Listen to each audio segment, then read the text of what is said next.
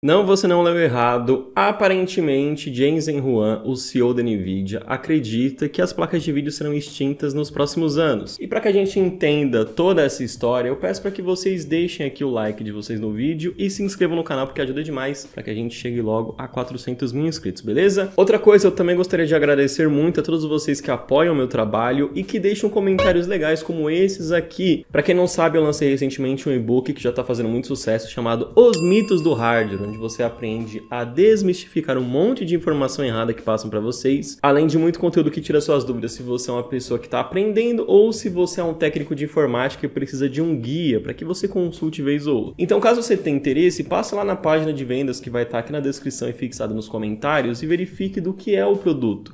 Se você comprar e não gostar, você pode pedir reembolso em até 7 dias, beleza? Agora vendo a notícia que saiu, né?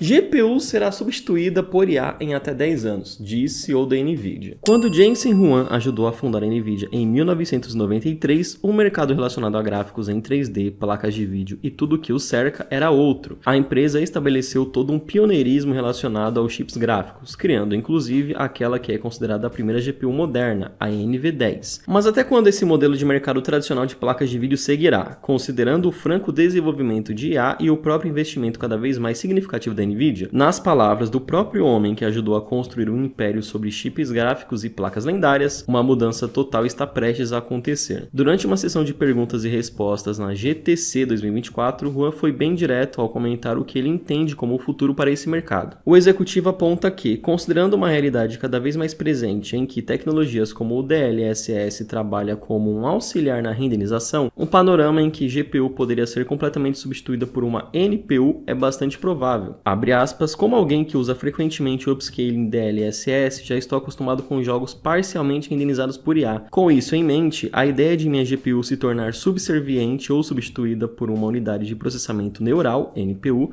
não parece um futuro impossível, fecha aspas. Devido ao momento cada vez mais positivo da Nvidia sobre tudo que está relacionado a IA, Jensen tem adotado uma linha de pronunciamentos públicos colocando nesse futuro que ele projeta, em que sua corporação é um player central nesse serviço. Na verdade, ele só está vendendo o próprio peixe dele aqui, né, dando essas declarações. Mas vamos ver mais o que, que acontece aqui. Juan também traçou um paralelo com a OpenAI e a Sora, ferramenta de geração de vídeos baseadas em IA, que deve ser lançada em 24. O executivo trouxe o ponto sobre o quão rápido as plataformas generativas estão avançando, tecnologias de upscaling, geração de quadros que são cada vez mais utilizadas em jogos. Também seguem evoluindo rapidamente. E aí aqui, falando sobre o PlayStation, tá, aí tá aqui, ó. A projeção de Juan fala em um prazo de 5 a 10 anos para essa nova realidade em que unidade de processamento gráfico tradicional perca espaço para alguma coisa nova. Alguma coisa nova assim, né? Ele já sabe o que que é, mas ele não pode falar. Alguma? Ó, pessoal, tem um negócio novo aí, né? Mas vai saber também, né? Tá, lá no bar só se fala nisso, mas ninguém sabe também o que, que pode ser. Abre aspas, eu acredito que estamos a menos de 10 anos de distância. Em 5 anos a partir de agora, você provavelmente estará no meio onde tudo estará mudando em tempo real e todos dirão: Olha, veja isso, realmente está acontecendo. E aí você só precisará fazer as contas. Já estamos há dois anos nisso. Dentro destes 10 anos, provavelmente, nós provavelmente já estamos no segundo ano disso. E aí eu lhe diria que seria algo entre os próximos 5 a 10 anos, em algum lugar no meio. Acredito que seja o caso. Fecha aspas. A posição de Juan também levanta outro ponto muito importante. Até quando rodar games em resoluções altas como 4K de forma nativa será importante? As tecnologias baseadas em A podem transformar totalmente esse tradicionalismo, calcado no hardware bruto. Algo do passado? Comente abaixo. Faltou aqui uma acentuação, mas tá de boa, né? Bom, pessoal, aqui é o seguinte, né? A gente tem algumas... Ai. A gente tem algum... algumas coisas importantes nesse discurso dele. O primeiro é aquilo que eu já falo há bastante tempo, né? Eu não vejo o PC Gamer como algo imutável. Eu não vejo que esse conceito todo aqui, toda essa palhaçada que a gente tem de gabinete, monitor, teclado e mouse, seja algo que dure por muito tempo. Eu quero fazer um vídeo sobre isso, sobre o choque de realidade que eu tomei quando eu percebi que o meu primeiro processador, que foi um Pentium 3, em 2011, tinha 11 anos de existência ele era extremamente ultrapassado. Só que o processador de 2011 que você encontra hoje no mercado não me parece tão ruim assim para que você utilize, não é? Então, a tecnologia ela explodiu dos anos 90 em diante. Então, cara, é um negócio muito recente se você pensar. Esse conceito de PC gamer, de PC doméstico, é algo muito recente. E as IAs, elas estão de fato evoluindo numa velocidade absurda. Eu também quero fazer um vídeo sobre IA, mas vai ficar por um tempo mais afastado porque vai ser um vídeo um pouco polêmico. Então, eu não acredito que o PC gamer será isso que a gente tem hoje pelos próximos 10, 15, 20 anos. Eu acho que é uma coisa que ela vai ser totalmente aposentada e dará espaço a uma coisa nova. É ruim? Olha, eu honestamente acho que não importa, né? O que importa é o quanto a gente vai poder pagar, porque se mudar para algo muito caro, daí fica inviável. Ao mesmo tempo que se for algo muito melhor e que tiver um preço justo, a gente não se importa de que mude, né? Pelo menos eu não me importo. Essa é a primeira coisa que tem nesse discurso. A segunda coisa, obviamente, é o fato de que a Nvidia está muito envolvida com IaaS. Então, assim, quando ele fala, ó, vai mudar, hein? Sei. Talvez a IA vai dominar tudo. É porque o cara já sabe de alguma coisa, já tem algum projeto em desenvolvimento. Ele só deu essa margem de tempo para que a gente especule o que, que seria e quanto tempo realmente levaria, mas eu vejo como um fato, tá? Eu acho que placas de vídeo serão aposentadas. Em quanto tempo? Bom, pode ser que em 10 anos mesmo, pode ser que em menos. Só que vai chegar uma hora, cara, que não vai ter mais por que existir. Pensa comigo, hoje você tem empresas que trabalham fortemente nesse lance de jogar em nuvem, né? A Microsoft provavelmente é o carro-chefe disso.